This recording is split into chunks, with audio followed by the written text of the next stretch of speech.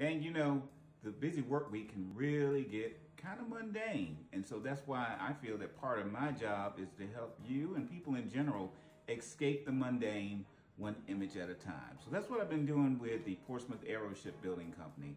My focus has been just trying to create some exciting art that even if it's two minutes at a time, it gives you an opportunity to escape everything that's going on within the workplace or just in your busy day to day and give you an opportunity to dream and just have a little uh, imaginary getaway.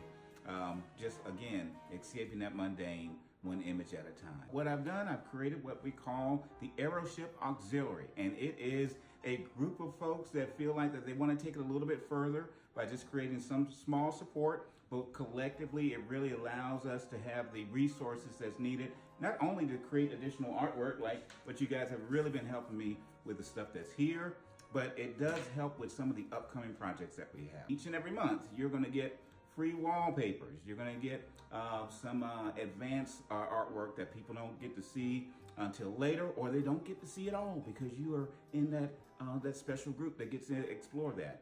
And those of you that are part of the uh, insider level of that will get some of the behind the scenes video that's not seen anywhere else uh, get some, to see some of the things that go into putting together some of these projects. We're going to do our calendars again like we did last year. And we've talked about possible book ideas. Well, that is something that is on the radar in a real way. It's going to take place. Just click the links, take a look, see the stuff that's there.